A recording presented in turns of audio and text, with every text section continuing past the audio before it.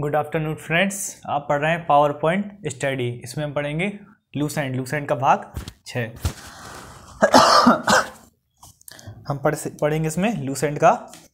Lucent पढ़ेंगे इसमें कौन सा भाग नंबर छः पढ़ेंगे?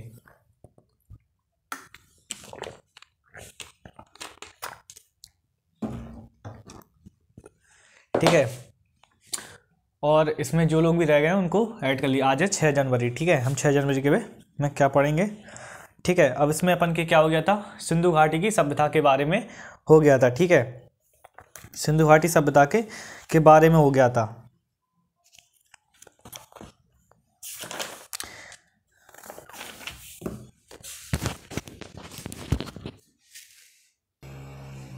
सिंधु घाटी सभ्यता में प्रमुख वस्तुएँ मतलब कौन कौन सी वस्तुएँ कहाँ पर प्राप्त हुई? ठीक है, ये अपन आज पढ़ेंगे प्रमुख वस्तुओं के बारे में। प्रमुख वस्तु। ठीक है।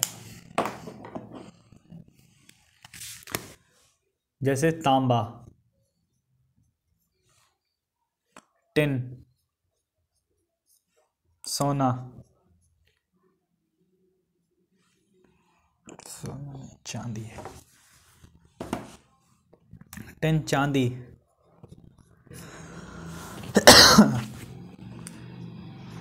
लाज वर्द। ठीक है, सोना। और क्या है?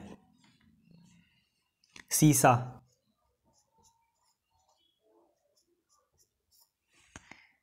ठीक है, और भी इसमें चीज़ें हैं। ठीक है, सोना कहाँ से प्राप्त हुआ? प्रमुख वस्तुएँ किसमें सिंधु घाटी सभ्यता में? सोना के बारे में कहाँ कर, कहाँ कहाँ पर दिया गया? ठीक है, ये हुआ राजस्थान। राजस्थान। ठीक है? तांबा कहाँ से हुआ? राजस्थान, दक्षिणी भारत। दक्षिण भारत।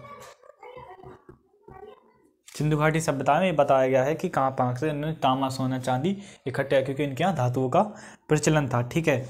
बलूचिस्तान। बलूचिस्तान। ठीक है? बलूचिस्तान से हुआ अफ़गानिस्तान। अफ़गानिस्तान। ठीक है। टिन कहाँ से प्राप्त हुआ? बंगाल।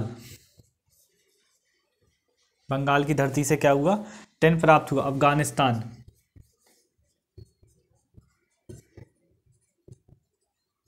ईरान। अफ़गानिस्तान, ईरान। ठीक है। ये तीन दो जगह से क्या प्राप्त हुआ?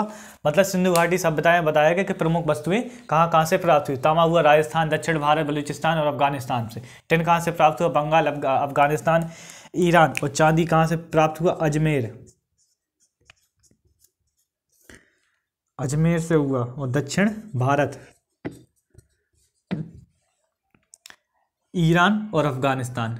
ईरान और अफ़गानिस्तान। अफ़गानिस्तान से क्या हुआ? चांदी प्राप्त हुई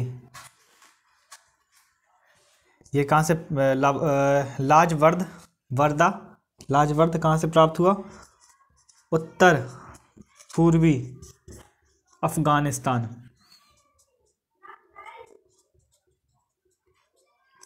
उत्तर, पूर्वी अफ़गानिस्तान और मैसोपोटामिया।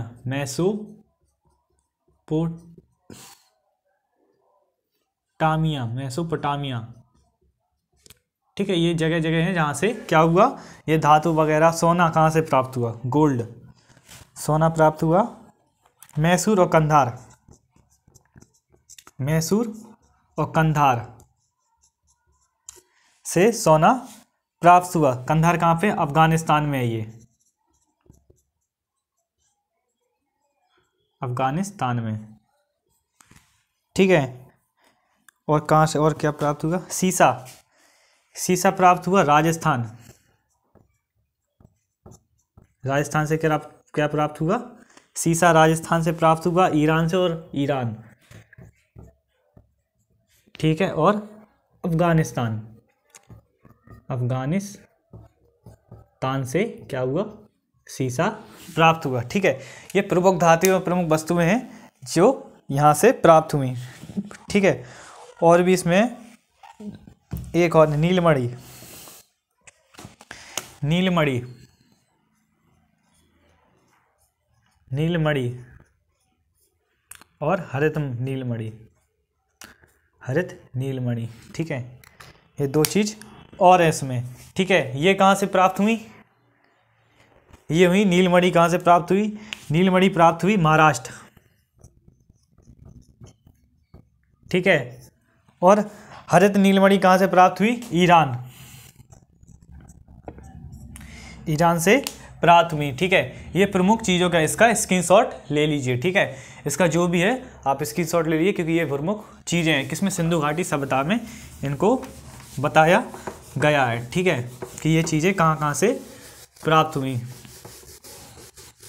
फ्रेंड्स, ज़्यादा से ज़्यादा लोगों को जोड़े, जो रह गए हों, उनको ये बता दीजिए, क्योंकि लूसेंट की सब्सक्राइबर होने के बाद लाइव कोचिंग ली जाएगी, ठीक है? फरवरी में इसकी ज़्यादा से ज़्यादा सब्सक्राइब या व्यू होंगे तो इसकी लाइव कोचिंग ली जाएगी, ठीक है?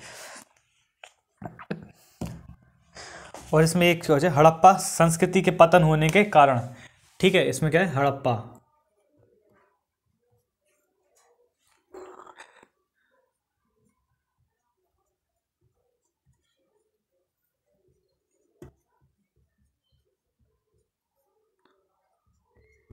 होने के कारण। ठीक है? इसमें क्या है? हड़प्पा सभ्यता के सभ्यता के, क्या पतन होने के किन किन कारणों से हड़प्पा सभ्यता क्या हुई?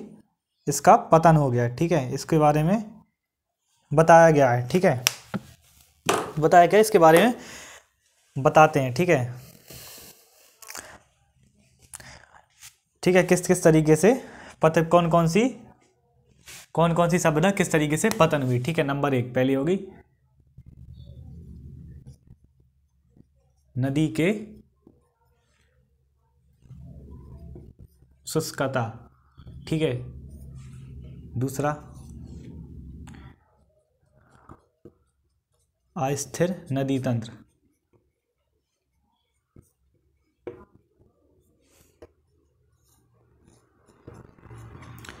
जलवायु परिवर्तन।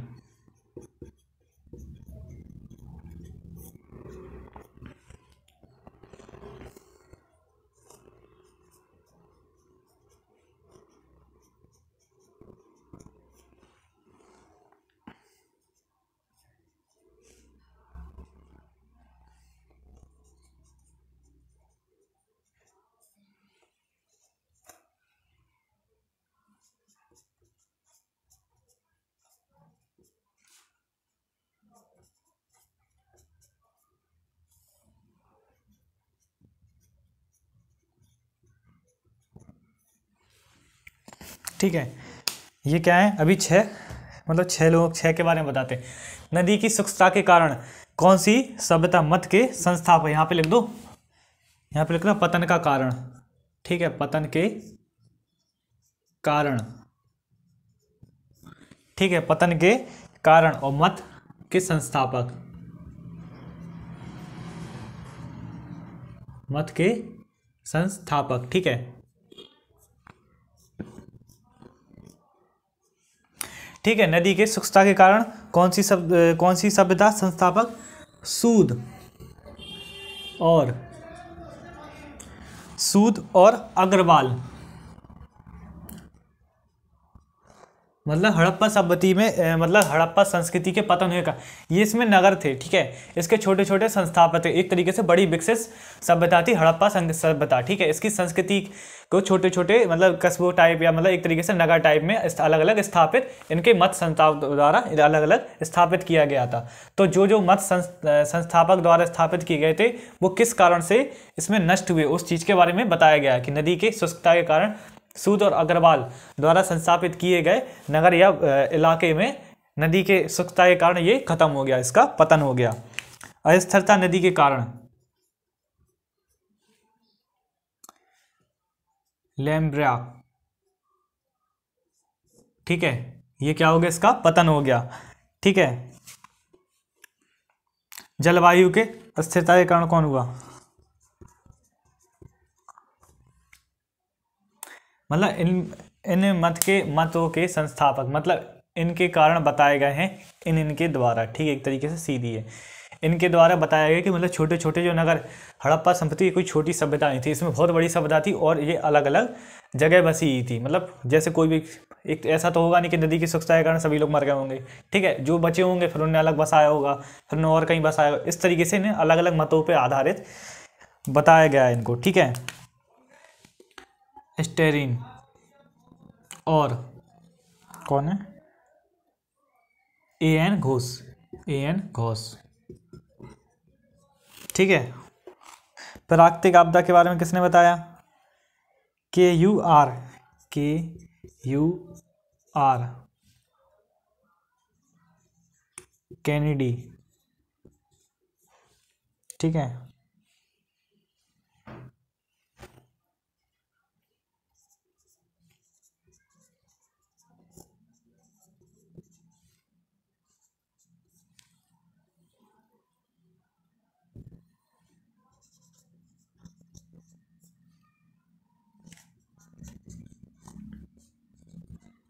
ठीक है? नदी की स्वच्छता के बारे में बताया इनका मत है, मत के संस्थापक कौन है? सूद और अग्रवाल ने बताया था कि इसका पतन, जो मतलब छोटे हड़प्पा संस्कृति है, इसका पतन नदी के स्वच्छता के कारण हुआ कि मतलब एक तरीके से नदी का पानी कम हो गया, ठीक है? या अस्थिरता, नदी के अस्थिर तंत्र इसको लेम्ब्रे ने इसका मत का समर्थन किया। और जलवायु परिवर्तन, इसमें आर एल स्टीन और एन ए एन घोष ने क्या किया कि जलवायु के परिवर्तन होने से शायद हड़प्पा संस्कृति का क्या हो गया? पतन हो गया, ठीक है? और प्राकृतिक आपदा के बारे में बताया के यू आर कैनिडी ठीक है? इन्होंने बताया के यू आर कैनिडी ने बताया कि प्राकृतिक आपदा के कारण हड़प्पा संस्कृति का क्या हो गया? पतन हो गया। फिर भूकंप के बारे में किसका मत हैगा? डेल्स और रेडाइस का मत है कि भूकंप के कारण हड़प्पा संस्कृति का पतन हो गया। परिस्थिति का असंतुलन के बारे में फेयर सर्विस ने सर्विल ने बताया कि मतलब इसका क्या बोलते, प्राकृतिक आपदाओं के कारण मतलब प्राकृतिक असंतुलन के कारण इस चीज़ का क्या हो गया? पतन हो गया, हड़प्पा संस्कृति का पतन हो गया। क्योंकि हड़प्पा संस्कृति कोई छोटी संस्कृति नहीं थी, क्योंकि ये बहुत बड़ी संस्कृति थी। इसके पतन होने के कारण ये बताया जा रहा है, मतों के द्वारा बताया जा रहा है, ठीक है?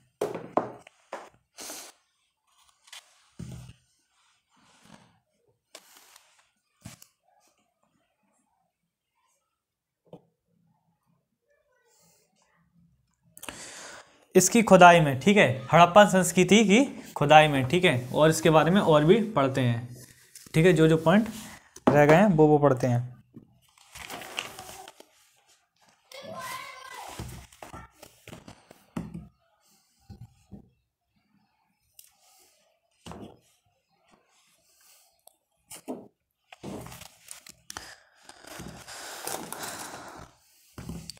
सबसे पहला है, सबसे पहले कपास। कपास किसने उगाई? हड़प्पा के लोगों ने ठीक है? सबसे ज़्यादा सबसे पहले कपास किसने थे उगाने का श्रेय किसको जाता है? हड़प्पा वासियों को प्राप्त है ठीक है? इसमें ल, इसमें लकड़ी के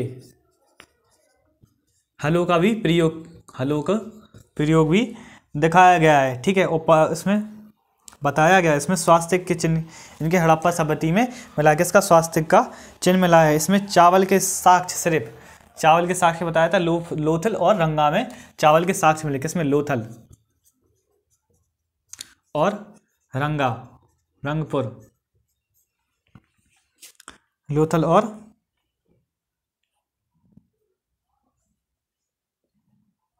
हाँ लोथल और रंगपुर से जिसके चावल के साक्ष्य मिले। कि चावल के साक्ष्य के बारे में बताया जाता है। विश्व में सबसे पहले चांदी कहाँ पे पाई गई? चांदी चांदी के बारे में इनको ज्ञान था। मतलब चांदी के एक तरीके से सिक्के, एक तरीके से सिक्के नहीं मिले इनके, चांदी का इन्हें चांदी का ज्ञान था। ठीक है? धातु का, चांदी धातु का क्या था? ज्ञान, धातुओं का ज्ञान। इन्हें धातु का भी ज्ञान था। तभी तो इनके सबसे पहले भारत में, भारत का पूरे विश्व में सबसे पहले चांदी इन्हीं के पास पाए गए, ठीक है? इनके पास बड़े बड़े ठीक है, ये हो गया।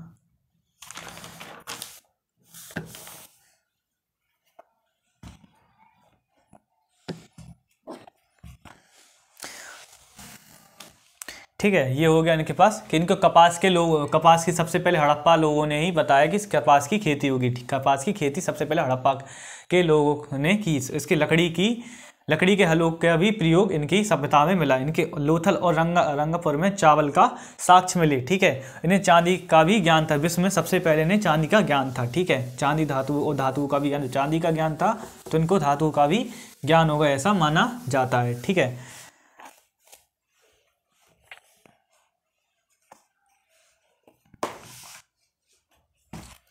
इसके हड़प्पा सभ्यता के सभ्यता के कुछ महत्वपूर्ण स्थान, ठीक है, ये लिखते हैं अपन।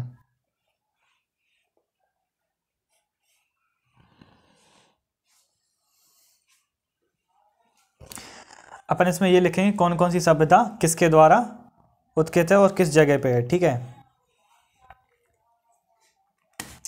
यहाँ डालेंगे पहले नदी। खुदाई। ठीक है नदी खुदाई जगह का नाम। नेम ऑफ़ प्लेस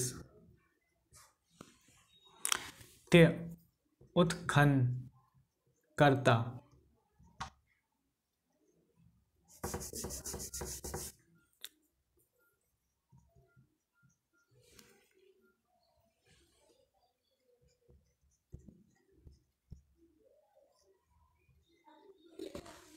उत्खनन करता, ठीक है? ये क्या है? अपन इसके बारे में पढ़ेंगे, ठीक है? नदी, पहले एक साइड, पहले नदी के नाम लिख लेते हैं। रावी। सिंध।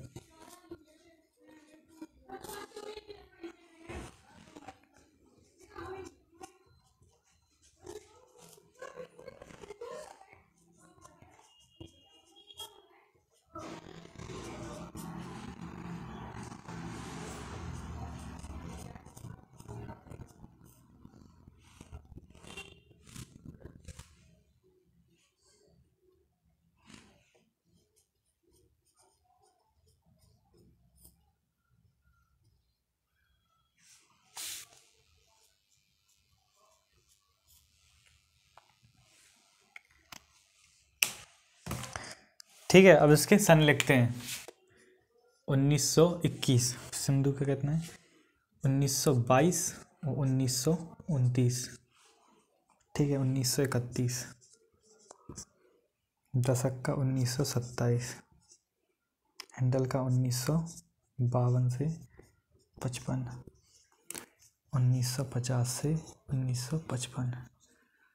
मदरसा का है उन्नीस सौ तिरपन। ठीक है? ठीक है, अब क्या हुआ? खुदाई में जगह कहाँ, कौन सी जगह मिली? हड़प्पा। ठीक है? कहाँ पे? पंजाब, पाकिस्तान, पाक में। ठीक है?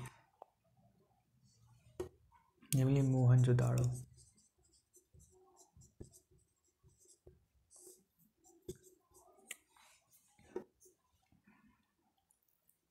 सिंध।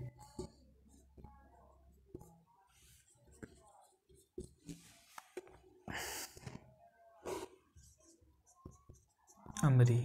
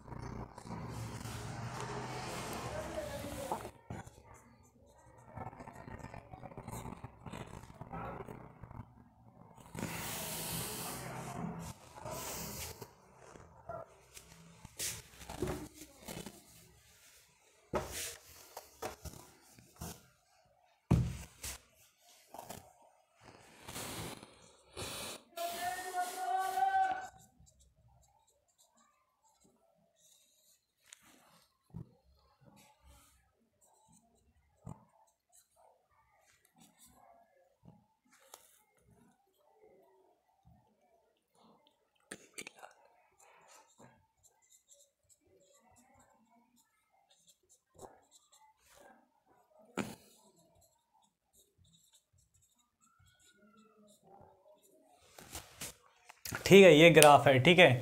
जिस खुदाई में, किस जगह से कौन कौन से उत्कर्ता द्वारा की गया रावी नदी पे 1921 में क्या हुई खुदाई, जिसमें हड़प्पा, पंजाब, जो कि पंजाब और पाकिस्तान में अभी स्थित है, ठीक है? जो कि पंजाब, पाकिस्तान में स्थित है। किसने? दयाराम साहनी ने इसकी क्या की थी? खोज की थी, ठीक है? सिंधु घाटी नदी, उन्नीस सौ सत्रह में, सत्ताईस में सॉरी उन्नीस सौ सत्ताईस में मोहनजोदाड़ो जो कि खुद पाकिस्तान, सिंध पाकिस्तान में स्थित है, जिसकी राखाल दास बनर्जी ने इसकी क्या की थी? खोज की थी, ठीक है?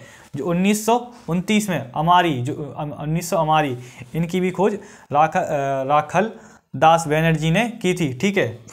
सिंधु घाटी नदी पर उन्नीस सौ इकतीस में फिर खुदाई जिसमें चूहलोड़, चूहू दड़ो, चूहदड़ो सिंध पाक की खोज हुई, ठीक है, जिस, जो कि सिंध पाकिस्तान में स्थित है, जिसमें एन एच मुजुमदार, ठीक है, जिसने खोज की। इसकी भी किसने की? इनकी भी एन एच मंजूदार और चोहड़ों की भी किसने एन एच मंजूदार ने खोज की। दशक नदी पर 1927 में खुदाई, जिसमें सूत कांड, कांगडोर, सूत कांगडोर जो कि बलूचिस्तान में स्थित है, जिसकी खोज किसने? सर ओलरे स्टीरन स्टीन ने इसकी खोज की, ठीक है? सत्रह नदी पर 1950 में, से पचपन में रोपड़ रोपड़ मतलब रोपड़ सभ्यता की खोज हुई, जो कि पंजाब और सतलज नदी पंजाब में सतलज नदी के तट पर स्थित है। इसकी खोज बीवी लाल और यज्ञ दात शर्मा ने की, ठीक है? मदर नदी, जिसमें उन्नीस सौ तिरपन में रंगपुर में, गुजरात, मदर नदी पर, जिसकी खोज माधव स्वरूप वत्स ने की है, ठीक है? इनकी खोज की है। इसका स्क्रीनशॉट ले लो। ठीक है इसमें दो और रह गए हैं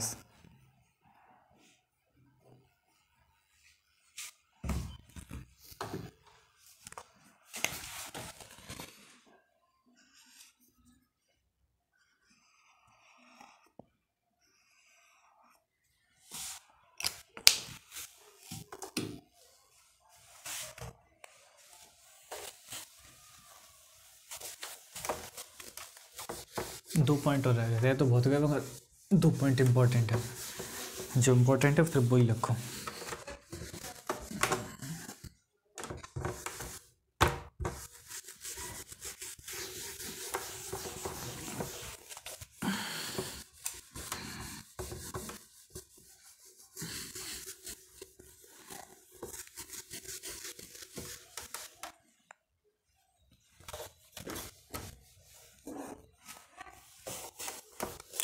फ्रेंड्स ज़्यादा से ज़्यादा लोगों को जोड़ो, ठीक है?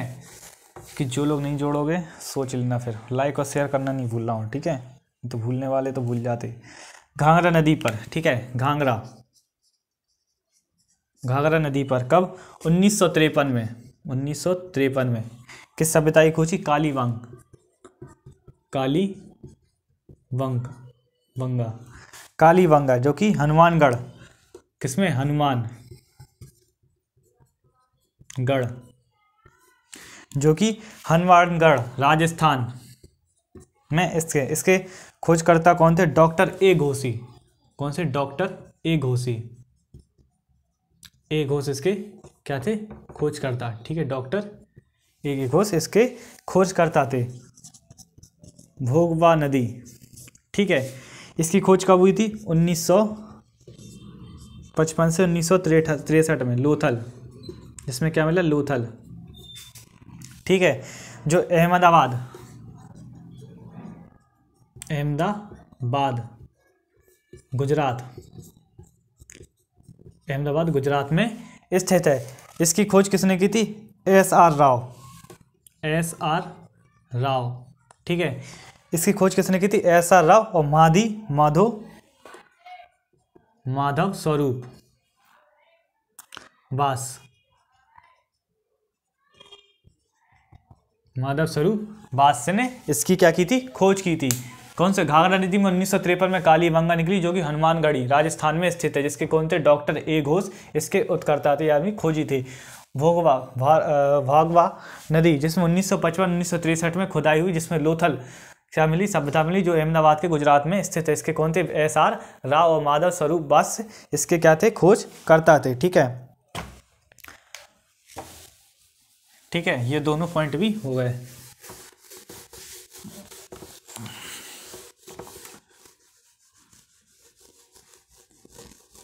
अब इसमें एक लास्ट पॉइंट है, अन्य भागों में। अन्य महत्वपूर्ण भाग, ठीक है, और उनके क्षेत्र। अन्य महत्वपूर्ण भाग में कुछ, दो तीन, पाँच वो हैं। मेहरगढ़। डेरा इस्माइल खान राखी गढ़ी मांडा रोजड़ी एवं प्रभास पाटन। ठीक है, ये क्या है? प्रमुख जगह है, जिनका उल्लेख बताया गया है। मेरा मेहर मेहरगढ़ कहाँ पे है? मेहरगढ़, बलूचिस्तान। कहाँ पे? बलूचिस्तान। जो कि कहाँ है अभी? प्रेजेंट में पाकिस्तान में स्थित है। ठीक है, जो कि पाकिस्तान में स्थित है। डेरा इस्माइल खान, ये कहाँ पे है? यह है पंजाब। जो अभी पाकिस्तान में स्थित है। जो भी पाकिस्तान में स्थित है। राखी राखी गढ़, जी हरियाणा में स्थित है। कहाँ पे? हरियाणा में स्थित है, ठीक है। मांडा मांडा, ये क्या है? जम्मू कश्मीर के राज्य में। कहाँ पे? जम्मू कश्मीर राज्य में स्थित है, ठीक है। रोजड़ी एवं प्रयास पाटन, ये कहाँ पे स्थित है? ये गुजरात में स्थित है। ये कहाँ पे? गुजरात में स्थित है, ठीक है? इसमें ये पॉइंट हो गया ठीक है? अब इसमें कोई बचा नहीं है। अब इसमें कोई पॉइंट बचा ही नहीं है, ठीक है? और अब जो भी पॉइंट होंगे, इसमें आपको पहले बता दिया जाएगा। अब हम इसमें क्या पढ़ेंगे? वैध सभ्यता के बारे में पढ़ेंगे, ठीक है? कल अपन लोग वैध सभ्यता के बारे में पढ़ेंगे। ठीक है फ्रेंड्स, जो भी रह गए हों, उन लोगों को ऐड कीजिए और जब, और लूसेंट के बारे में बताइए। लूसेंट की आपको डेली अपडेट मिलते रहेंगे। डेली करंट अफेयर भी इसमें पढ़ाई जाती है सुबह छः बजे आपको जी। और शाम को लूसेंट की कक्षा मिल जाएगी। ठीक है? शाम को छः बजे आपको लूसेंट की कक्षा मिल जाएगी।